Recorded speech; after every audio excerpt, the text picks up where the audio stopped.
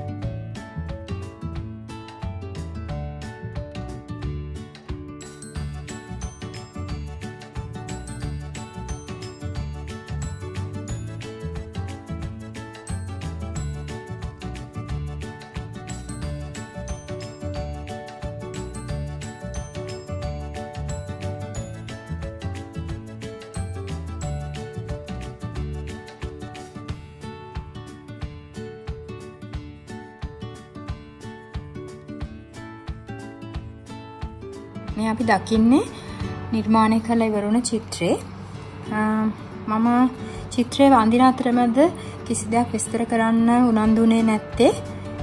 කරුණු කීපයක් පැහැදිලි කරන්න ඕන හින්දා. පළවෙනි දේ තමයි දැන් මේක බැලුවහම ඔයාලට තේරෙනවා ඇති. මම චිත්‍රය අඳින අතරතුරම නිර්මාණය කරා. මේකට පාවිච්චි කරපු ටෝන්ස් හතරක්. ඒ හතරෙන් තමයි මම මේ චිත්‍රය ඇඳලා තියෙන්නේ.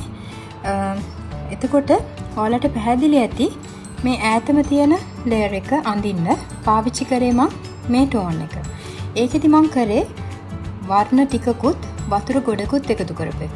එතකොට ඒ වර්ණය තියෙන ශක්තිය අඩු වෙලා මෙවිදිය ලාවර්ණයක් තමයි අපිට නිර්මාණය කරලා දුන්නේ. ඊට පස්සේ ටිකෙන් ටික මම කරේ වර්ණ වැඩි කරලා මං පාවිච්චි කරන වතුර ප්‍රමාණය අඩු කරන එක. ඒකෙදි ප්‍රධාන වශයෙන්ම අපිට කරන්න පුළුවන් දේ තමයි කල පර්ස්පෙක්ටව් වර්ණ පරාවලෝකනය කෙනෙක මේ චිත්‍රයට දෙන්න පුළුවන්. ඊළඟට මේ දියසායම්වල තියෙන වැදගත්ම දේ තමයි මේ අතරමැද අපිට අවශ්‍ය වුණොත්. නැවතත් ඒ ටෝන් එක කොයි වෙලාවකවත් අපිට නිර්මාණය කරන්න බෑ. අපි ගොඩනගාගෙන එනකොට නිවැරදිව නිවැරදි ස්ථානය බලලා අපි අවශ්‍ය ටෝන් එක පාවිච්චි කරන්න ඕනදි චිත්‍රෙ. කවදාවත් අපිට නැවතත් ඒක නිවැරදි කරන්න අවස්ථාවක් දියසායම් වලදි හම්බුවෙන්නේ නෑ. ඒ වගේම හැමතිස්සම මේ විදිහ අපි චිත්‍රය ආලේප කරලා බලන්න කලින් මේ විදිහට අපිට පුළුවන් ටෝන්ස් චෙක් කරලා බලන්න එක අපේ චිත්‍රයට ගැලපෙනවද නැද්ද කියලා. ඉතින් මං හිතනවා ඔයගලන්ට අවබෝධ වෙන්නේ නැති කියලා මේ දියසායම්බල තියෙන ටෝනල් වැලිබ්ස් කොහොමද නිර්මාණය කරන්න කියලා විවිධ වර්ණවලින් චිත්‍ර අත්හදා බලන්න කලින් මේ විදිහට ටෝන්ස් ගැන තේරුම් ගන්න ඕන නම් තනි වර්ණයක් පාවිච්චි කරලා මේ විදිහට Tamanට අවශ්‍ය ප්‍රමාණයක් නිර්මාණය කරන්න පුළුවන්. මට තියෙන කාලයත් එක්ක මම මේ විදිහේ ටෝන්ස් හතරක් තමයි පාවිච්චි කරේ. තව තව වැඩි කරලා මේක ලේයර්ස් ගාන අපිට වැඩි කරන්න පුළුවන්. එතකොට විවිධ වර්ණ ශක්තියින් ගොඩාක් තනි වර්ණයකින් වුණත් නිර්මාණය කරගන්න අපිට අවස්ථාව හම් වෙනවා. එතකොට කල පර්ස්පෙක්ටිව් කියන එක නිකම් අපේ චිත්‍රයට එකතු වෙලා තියෙනවා අපි හරියට මේ ටෝන්ස් පාවිච්චි කරොත්. බොහොම ස්තුතියි.